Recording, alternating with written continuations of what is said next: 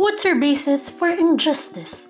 Is it only the bruises, the wounds, the scars, the bawling eyes?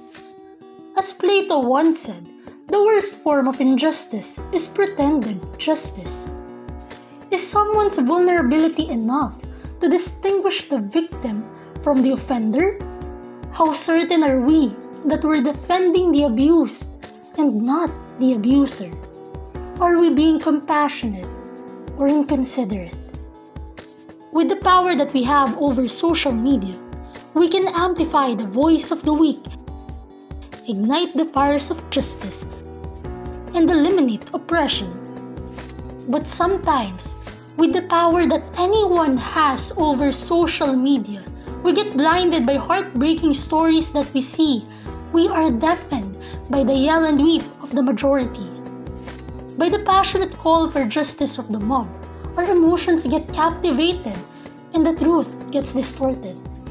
Then we tend to accept it, the distorted truth, without second guessing or any proof.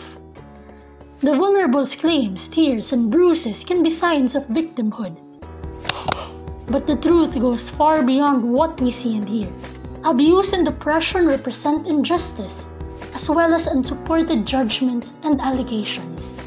It's as unjust to see the innocent one punished as to see the guilty one flee. Let us save someone's dignity from subjectivity and false accusations of the majority. Know the story, defend the oppressed.